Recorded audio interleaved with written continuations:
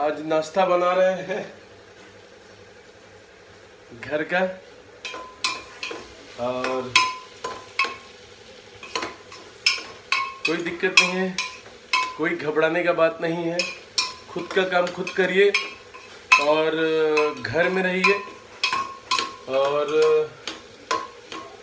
घर में बच्चों को भी सिखाइए कि खुद का काम खुद किया जाता है।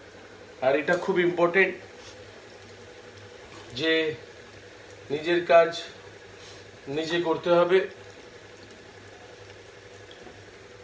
जो आपको हमेशा हेल्प करते हैं घर में आके अ, उनका भी घर से निकलना भी अ, ठीक नहीं है तो ये समय है अगर हम मजबूत रहेंगे तो अपने देश को हम अ, मजबूत कर पाएंगे तो मजबूत रहिए और खुद का काम खुद करिए और प्लीज़ घर के बाहर मत निकलिए और अ, ना ही अ, क्लब में जाके अड्डा मारने का भी ज़रूरत नहीं, भगवान सब ठीक कर देगा तो ज़िंदगी भर अड्डा मारा जाएगा, एक साथ मिलकर अड्डा मारा जाएगा।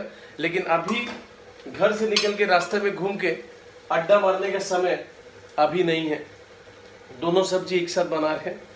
और ये रात का सब्ज़ी था जिसको गर्म कर रहे हैं, और ये अभी फ्रेश सब्ज़ी है जिसको बना रहे हैं।